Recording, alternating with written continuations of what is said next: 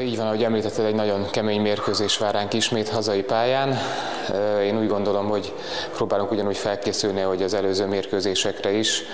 Az utolsó két meccsen én úgy gondolom, hogy azért lényegesen jobban játszunk, mint mondjuk a bajnokság elején. Ugye nem kezdtük jól a bajnokságot, aztán a oroszlányba sikerült ugye bravúr győzelmet aratnunk, és itthon a hazai pályán a Falko ellen is úgy gondolom, hogy helyek közel jól játszottunk egész mérkőzésen.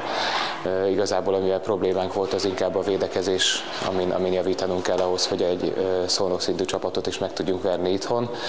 Támadásra úgy gondolom, hogy nincsenek akkora problémáink, bár azon is van mit javítani, de, de az helyek közel azért, azért rendben van.